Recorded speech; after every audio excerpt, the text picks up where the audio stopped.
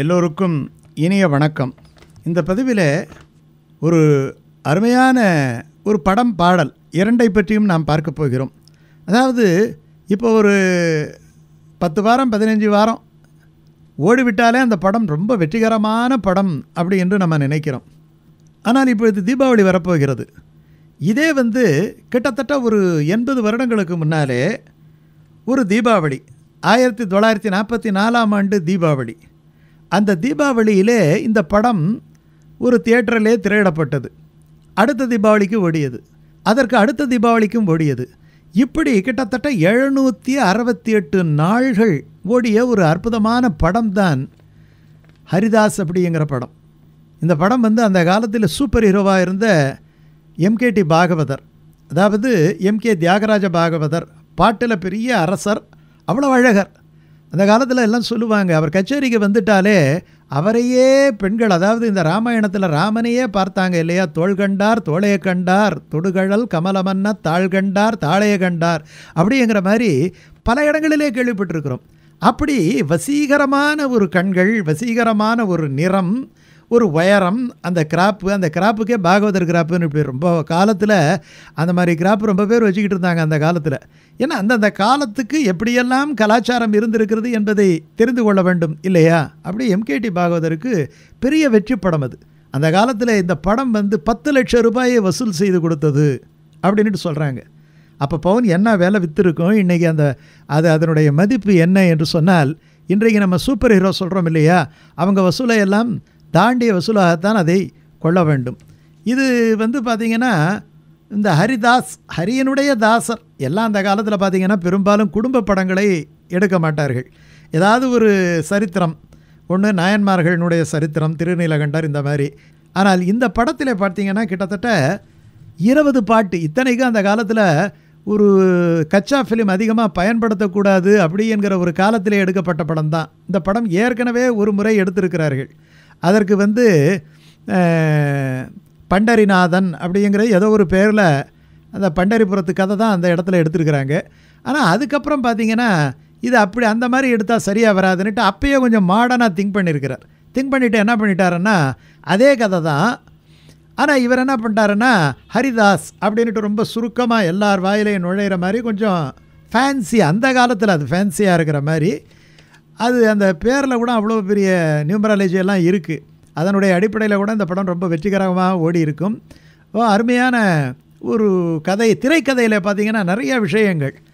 அதாவது இதில் ஒரு நல்ல ஒழுக்கமான அப்பா அம்மாவுக்கு பிள்ளையாக பிறந்த ஒரு பக்தன். அவனுக்கு தான் புண்டரீகன் அப்படின்ட்டு பேர். அவன் என்ன பண்ணுறான்னா ஆரம்பத்தில் நல்லா தான் இருக்கிறான். கல்யாணம் ஒன்று ஆகுது. ஆனால் அவன் அப்படியே வந்து வேறு வேறு பெண்களினுடைய சகவாசத்தோடு அவன் போயிடுறான். ஒரு பெண்ணை கூட்டி வந்து வீட்டிலேயே வந்து வச்சு குடும்பம் நடத்த ஆரம்பிச்சிடுறான். அந்த பெண் கேரக்டரில் தான் அப்போதைக்கு கனவு கன்னியாக இருந்த டிஆர் ராஜகுமாரி வந்து நடிக்கிறாங்க. ஏன் வசந்த கோகிலம் வந்து மனைவியாக நடிக்கிறாங்க. எம்கேடி பாகவதர் தான் இந்த புண்டரீகன் அப்படிங்கிற கேரக்டரில் நடிக்கிறார். நான் ஒரு காலத்தில் பார்த்திங்கன்னா இவர் ரொம்ப காமத்தில் கரை புரண்டு போயிட்டு எல்லாம் இழந்து பார்க்குறார். அப்பொழுது வந்து இந்த நதிகளெல்லாம் ஒரு முனிவருடைய வீட்டிலே போய் தங்களுடைய பாவங்களை எல்லாம் தீர்த்து கொண்டு போவதை கண்டவுடனே இந்த நதிகளுடைய பாவத்தை தீர்க்கக்கூடிய ஒரு பவர் எப்படி இந்த முனிவருக்கு கிடைத்தது என்பதை விசாரிக்கின்ற பொழுது அந்த முனிவர் சொல்லுகின்றார் என்னுடைய தாய் தந்தையர்களை நான் ரொம்ப அருமையாக நான் வைத்திருந்தேன். அந்த மதிப்பு தான் தாய் தந்தையரை மதித்த மதிப்பு தான் எனக்கு அப்படிப்பட்ட ஒரு சக்தியை தந்தது. அப்படின்னு சொல்கிறார் காரணம் அதுக்கு முன்னாடி இவர் காமவசப்பட்டு தன்னுடைய தாய் தந்தையர்களையே வீட்டை விட்டு விரட்டியிருப்பார். அப்படி தான் இவர் ரியலைஸ் பண்ணுவார். ரியலைஸ் பண்ணி மறுபடியும் தன்னுடைய தாய் தந்தையரை அழைத்து வந்து அவர் நிறைய பணிவிட பண்ணுவார். அப்போ சாட்சாத் பகவானே இவருடைய வீட்டுக்கு வருகின்ற பொழுது என்னுடைய தாய் தந்தையனுடைய பணிவிடைகளை எல்லாம் முடித்துவிட்டு பிறகு உன்னிடத்திலே நான் வருகிறேன் என்று சொன்னதற்காக அந்த பகவான் அப்படியே அவன் இவர் முடித்து கொண்டு வரும் வரை அவர் காத்திருப்பார். அப்படிப்பட்ட அந்த பக்தனுடைய கதையைத்தான் அதாவது இந்த ஹரிதாஸ் அப்படின்ட்டு அவர் எடுத்தார். அவனுக்கு புண்டரீகன் என்ன பேர் அவனுடைய அந்த பெயரில் அமைந்த அந்த நகரம்தான் புண்டரீகபுரம். அந்த புண்டரீகபுரம் தான் கொஞ்சம் கொஞ்சமாக மாறி பண்டரிபுரம் என்று இன்றைக்கு இருக்கிறது.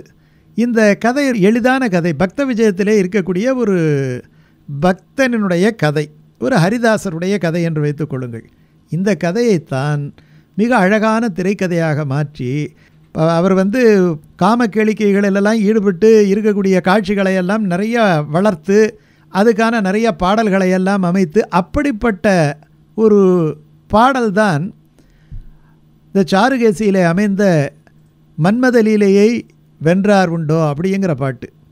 இந்த பாட்டு வந்து அதில் இருபது பாட்டுன்னு சொன்னேன். இருபது பாட்டில் தான் எல்லாமே ஹிட் சாங்ஸாக இருக்கும். அதில் கிட்டத்தட்ட ஒரு பதினேழு பாடல்களுக்கு மேலே எம்கேடி பாகவதரே பாடியிருப்பார். அப்போதைக்கு மிகச்சிறந்த சங்கீத வித்வானாக இருந்த ராமநாதன் தான் இதுக்கு வாத்திய அமைப்பு எல்லாம் செய்திருப்பார். அதாவது இசையமைத்திருப்பார். ஏன் இசை முழுமையாக இல்லை என்று சொன்னால் பாபநாசன் சிவனே வந்து வர்ணமிட்டு போட்டு தான் அப்போ பாட்டெல்லாம் தந்துருவார். இந்த பாட்டு ஒரு காதல் பாட்டு. அதாவது தன்னை இகழ்ந்து போன அந்த காதலியை ஈர்க்கும்படியான ஒரு பாட்டாக இந்த மன்மத லீலையை வென்றார் உண்டோன்னுட்டு அவர் எழுதி மெட்டு போட்டு தந்துட்டார். ஆனால் அவர் அமைந்த ராகம் வந்து வராளிங்கிற ராகத்தில் தான் அவர் டியூன் பண்ணி கொடுத்துட்டார். ஆனால் இது இந்த சூழ்நிலைக்கு இது சரியாக வராது.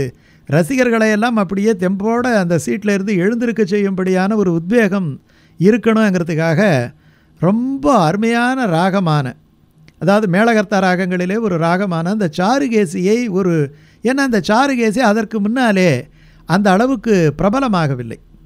பெரிய அளவில் அதை சினிமாவில் யாரும் பயன்படுத்தலை. ஏன்னா அதுக்கப்புறம் நிறைய பாடல்களெல்லாம் அதை பயன்படுத்தினார்கள். உனக்கும் எனக்கும் இசைந்த பொருத்தம்.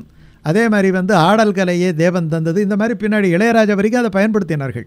ஆனால் அந்த காலகட்டத்திலே இதற்கு பக்கத்திலே நெருங்கவில்லை. செம்மங்குடி சீனிவாசையர் வந்து இந்த சாருகேசியை பெரிய அளவில் விஸ்தாரமாக எடுத்து வெளி உலகுக்கு கொடுக்கணுங்கிறதுக்காக படாத பாடுபட்டு கொண்டிருந்தார். அப்பொழுது ஒரு சாதாரண ஒரு சினிமா பாட்டிலே இந்த ராகத்தை எல்லோருடைய வாயிலும் முணுமுணுக்க வைத்த பெருமை யாருக்கு சேரும் என்று சொன்னால் ஜி. ராமநாதன் அவர்களைத்தான் சேரும். அந்த பாட்டு இதை போல மற்ற சில பாடல்கள் எல்லாம் உண்டு. அப்படி எல்லா பாடல்களுமே எல்லோரும் பாடும்படியான ஒரு அமைப்பில் இருந்ததாலே அந்த பாடல்களுக்காகவே அந்த படம் ஓடியது. அந்த இருபது பாடல்களை திருப்பி திருப்பி கேட்க வேண்டும் என்பதற்காகவே கிட்டத்தட்ட ஒரு எழுநூற்றி அறுபத்தெட்டு நாட்கள் ஒரு படம் வெற்றிகரமாக ஓடியது என்று சொன்னால் அது பெரிய சாதனை இல்லையா? சாதாரண அந்த ஒயிட் அண்ட் பிளாக்ல எடுத்த படம் பெரிய அளவில் நடிப்பெல்லாம் எதிர்பார்க்க முடியாது. இப்பொழுது உள்ள இந்த தலைமுறையர்கள் இந்த படத்தை பார்த்தால் இது இரண்டு தீபாவளிக்கு ஓடியது என்பதை கூட ஏற்றுக்கொள்ள மறுப்பார்கள். அதே போல் இந்த பாடல்கள் எல்லாம் இப்பொழுது உள்ள இளைஞர்கள் இந்த ஃபாஸ்ட் பீட்டெல்லாம் கிடையாது. அதனால் அதையெல்லாம் பெரிய அளவில் ரசிக்க மாட்டார்கள். பெரும்பாலும் எல்லாமே கிளாசிக்கல் பேஸ்டு சாங்ஸுங்கிறதால இது வந்து அந்த அளவுக்கு ரசனைக்கு உட்பட்டதாக இருக்காது. ஆனால் அந்த காலத்தில் இந்த பாடலானது பட்டி தொட்டிகளெல்லாம் பரவியது. கிராமத்திலெல்லாம் இந்த ராகங்கள் எல்லோருடைய பாமர மக்களுடைய வாயிலையும் வெளியில் வந்தது. ஏதாவது ஒரு இந்த விவகாரம் காதல் விவகாரம் என்ன மன்மதலிலேயே வென்றார் உண்டுன்னு பாடி காண்பிப்பது கேலி செய்வது என்பது அந்த காலத்தில் இருந்தது. அப்படி இந்த ராகத்தை அவ்வளோ பிரபலப்படுத்தினார் ஜி. ராமநாதன். அது மட்டும் இல்லை அது அப்போல்லாம் பார்த்தீங்கன்னா படங்களிலே வந்து இந்த இந்துஸ்தானி ராகங்களைத்தான் பெரும்பாலும் பயன்படுத்துவார்கள்.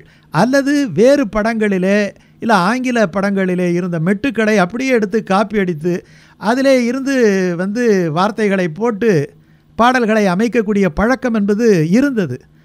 அப்பொழுதுதான் இதுக்கு ஒரு ஒரிஜினாலிட்டி ஒரு அசல் தன்மையை ஏற்படுத்த வேண்டும். அவர்கள் என்ன நம்மை காப்பி அடிப்பது? நம்முடைய இசையை அவர்கள் காப்பி அடிக்கட்டும் என்பது போல தன்னுடைய அந்த அபாரமான மூளையினாலே இவ்வளோ அழகான பாடலை இந்த மாதிரியான ஒரு ராகத்திலே அமைத்து வெற்றிகரமாக செய்தவர் ஜி. ராமநாதன். பிறகு இந்த ராகத்தை K. V. Mahadevan M. S. Viswanathan இந்த வசந்த முல்லை போல வந்து இதெல்லாம் பார்த்தீங்கன்னா ரொம்ப ஹிட் இதுக்கப்புறம் இந்த சாருகேசியை ரொம்ப பேர் திரைப்பட பாட பாடலிலே பயன்படுத்த ஆரம்பித்து விட்டார்கள். ஆனால் முதல் முதலிலே இது ஒரு இப்போ கிளாசிக்கலாக இருந்தாலும் ஒரு திரைப்பட பாடல் ஒரு செமி கிளாசிக்கல் டச்சில் இதை வெளியில் கொண்டு வந்தவர் யார் என்று சொன்னால் ஜி ராமநாதன் அதனால தான் அவர் இசை மேதை.